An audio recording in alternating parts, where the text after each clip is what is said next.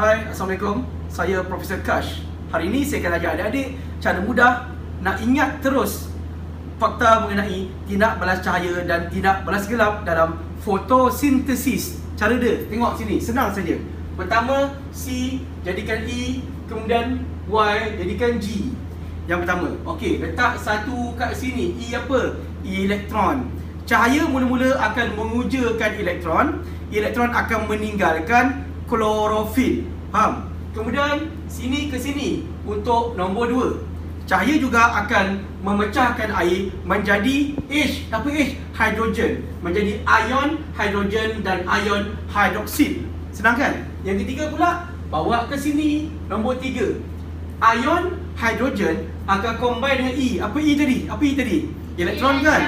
Untuk menjadi apa? Untuk menjadi atom hidrogen. Ini simpan ya sampai malam sekarang. Okey, yang ni pula menjadi sini. Ion ion hidroksid dapat ni akan kehilangan elektron berubah menjadi G. G itu group kumpulan hidroksil, group of hydroxyl. Kemudian ini nombor apa? Ini nombor 4. Sini pula akan jadi nombor 5. Kumpulan hidroksil pula akan jadi apa? Berubah menjadi air dan oksigen. Maksudnya hasil tindak balas cahaya ialah air dan oksigen. Mudah kan? Ha, saya lagi eh. Pada waktu malam, okey, cahaya tak ada. Formula dekat sini. Nampak tak tadi tu? Atom hidrogen tak pakai kan waktu siang. Waktu malam ke sini jawapan dia. Nombor 6.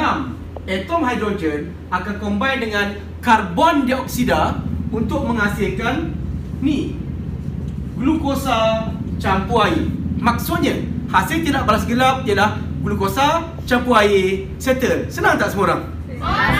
Senang.